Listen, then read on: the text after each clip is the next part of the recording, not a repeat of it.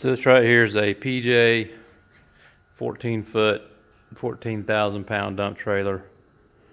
Um, 10,000 pound jacks on each side. Normally I have to crank this bad boy. I wanted to get away from cranking it since I have a battery. Just in case though, I can always hook it back up. Right here, I just slid this coupler off so this will spin free. trying to find a cheap, effective way to do this without ordering one of those jacks that hangs off the side here or putting it on the other side. Um, just because I didn't want to add any more stuff to not bang around.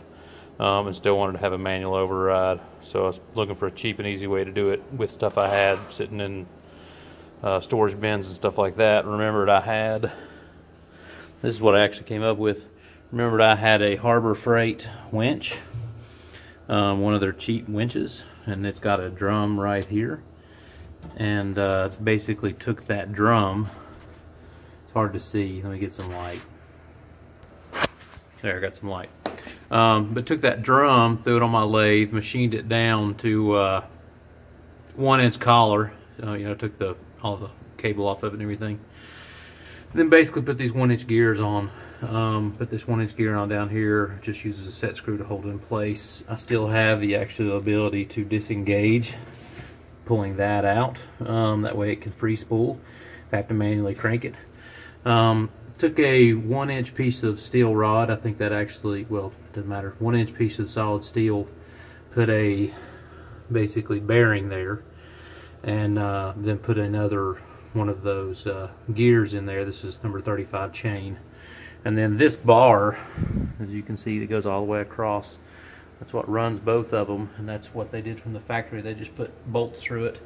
Um, all I did was cut it in half and then cut a chunk out of it machined a few slots for the bolts, drilled holes in that solid steel rod so it would actually, uh, so I could take it back out and service it if I need to. And then put the chain around it. Um, and that's about it. So now it actually lowers and raises the jack, the, the jacks on the legs. Um, these Harbor Freight winches are pretty simple.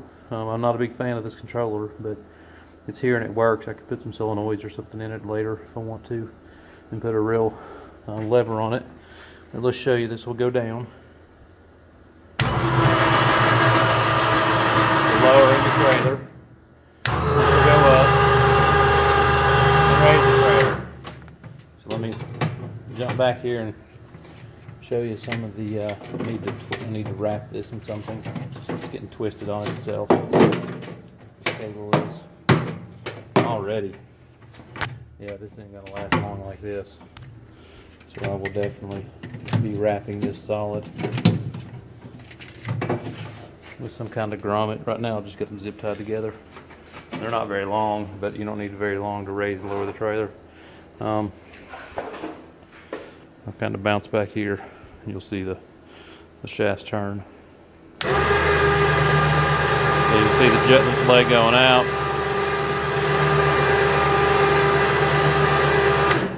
And going down.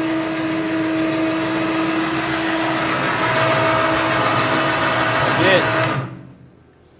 So that's all she wrote. That way I can don't have to crank that handle all the time and uh, can raise and lower this thing.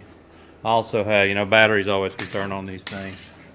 So there is a nice solar panel charger up here. That little antenna is for a wireless remote, which is real shady on these things.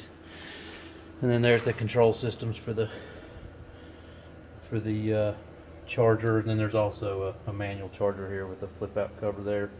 Um, so that thing was kind of hit and miss. And I just keep a few more binders and stuff in here. And there's the pump set up. But uh, that's about it. Also had had to re-weld that right there on. Um, I welded on the back side, but that had actually broken off from the factory and was loose. So I re-welded that. And the rest of the trailer's pretty much as is. Really like this trailer. It's uh, super handy because you can load stuff from the side without wheel wells. Um, had to fix these, like this one was tore out, the previous owner had the gates had swung open or something and bent the pins and evidently PJ from the factory, that hole never lined up, so you had to drill this one. I've not tested this, I just got these pins back in since I've had it, but I did bevel the end right here to where it'll slide up there easier. And this pin over here was broken. Um, this entire thing was actually broken down here. So I put a I put a weld on it there to put it back together to get it smooth. I put this washer on. I just took a bolt, put it in the press, um, and actually bent it at 90 degrees. We'll see how long that lasts, but it was the same diameter. Drilled a hole in it for a pin.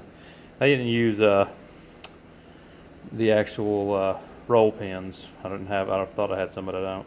And then I just beveled that, so we'll see. But it slides back over here and supposedly goes up and hits that hole. Um, I don't have enough room in the garage with the door shut to actually swing the doors out. But uh, overall, it's been a good trailer. All, you know, hundreds of tons of material total with this thing uh, in a three-quarter ton truck, and it's done a fantastic job. So definitely had it two weight capacity, and it handles it just fine.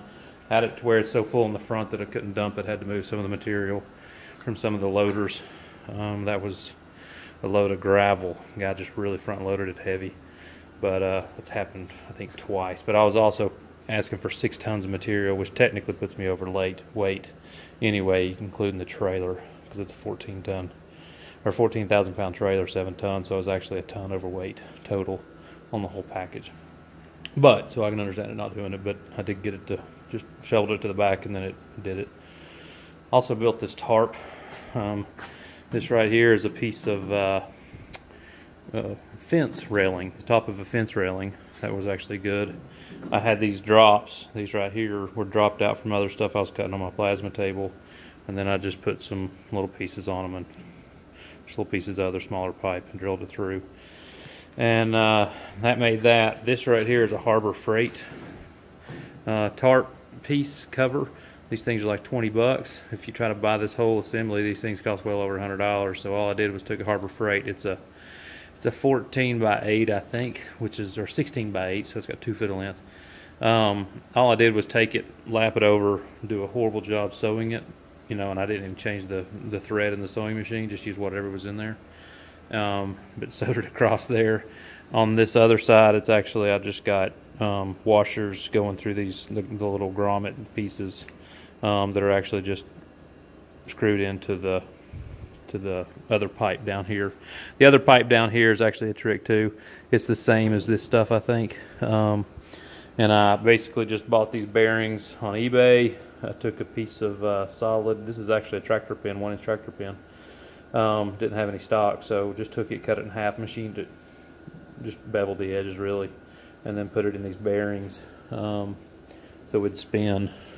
So put that whole thing in and it just goes up from the bottom. It's got a place where it'll just go up in there.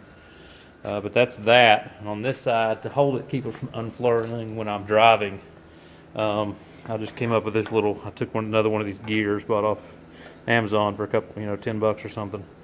Uh, ended up having, this is a scrap piece from some project, something I took apart.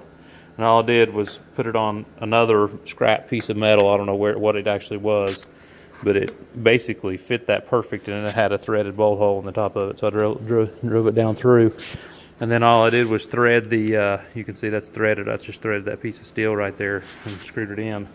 So now to lock it, I just tighten it like this, and then put that down, and it keeps it from flailing around. This right here is just a junk piece of aluminum that I just compressed the end on, drilled a hole in. This right here was threaded already. I don't know what I took apart, but all this stuff was just secondhand. Um, and then just screwed this on there. So, and then down here is just a screw to hold this in. This whole thing just kind of compress fits in here. Nothing too fancy, but you can definitely, you know, spin it around. It's in and it'll kind of go back and just hang on the side there. So, kind of just engineering to with what I got.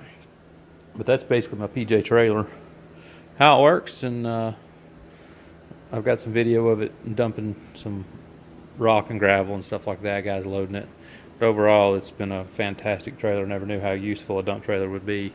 I did go with the gooseneck. I do want to mount a crane up on top.